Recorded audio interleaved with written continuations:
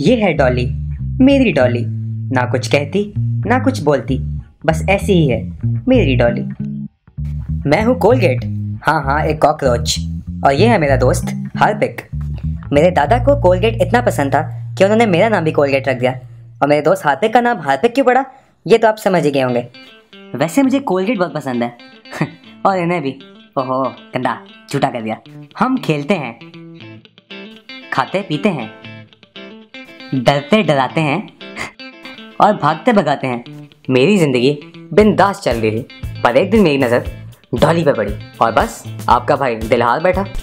जैसे हर गेम में दसवें स्टेज के बाद एक बला से लड़के रानी के पास पहुँचना होता है उसी तरह मुझे इस बला से भी लड़ना पड़ा।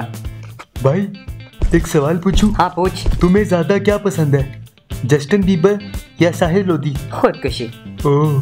भाई तू जा। मुश्किल रास्ते घूम घाम कर झूम झाम कर मैं डॉली के पास पहुँचा।